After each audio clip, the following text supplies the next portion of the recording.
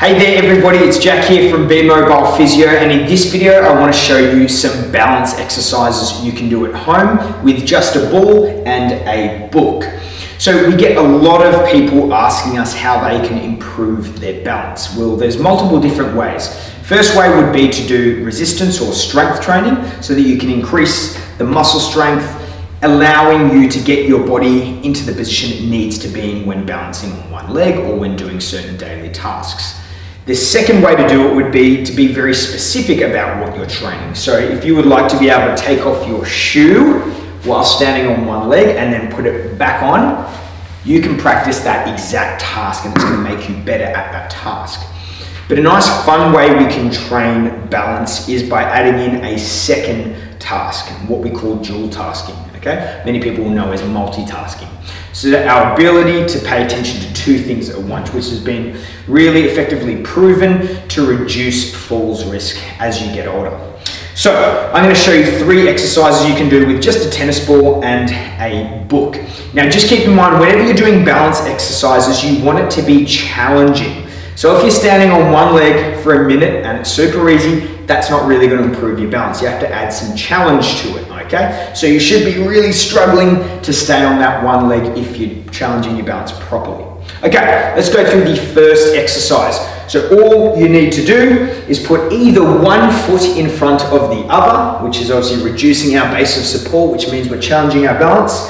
And if that's too easy, you can go up onto one leg and do a single leg balance, okay? Then all you're going to do from here is chuck the tennis ball up and down from one hand to the other. Nice and simple, okay? Once again, with one foot in front of the other or balancing on one leg.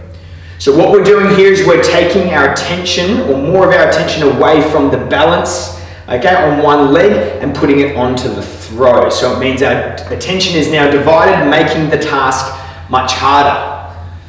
Okay.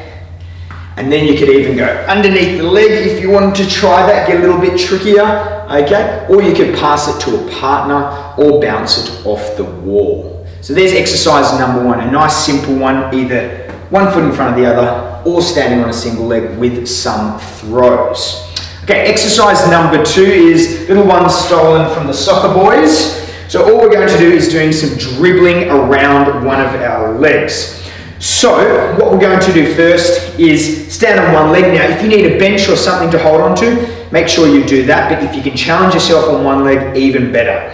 All we're going to do is pull that ball around our leg, dribble it around with your toes. Nice small dribbles, okay? And do some revolutions around our foot, just like that. And then you can reverse the way you do that for a nice cheeky balance exercise there. And then you can obviously change legs and you can even go a little bit further out to make it harder. Just like that, nice and far out. Oh. And as you can see, that's really challenging the balance. Okay, so that's where you want it to be. You want to be nearly falling for most of the exercise so that you really are challenging it. So there's exercise number two, dribbling around the foot. You can even play that with a partner as well by kicking the ball to each other whilst balancing. Third exercise is a great one we call nerd ball, okay?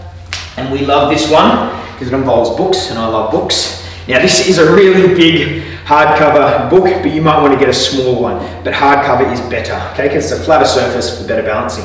So once again, you're either going to go in tandem stance, one foot in front of the other, or you can do a single leg balance. And what you're going to do from here is simply balance the ball on the book. Nice and simple, okay? That is your first task. So once again, taking our attention away from the balance and putting it on another task, balancing a ball on a book.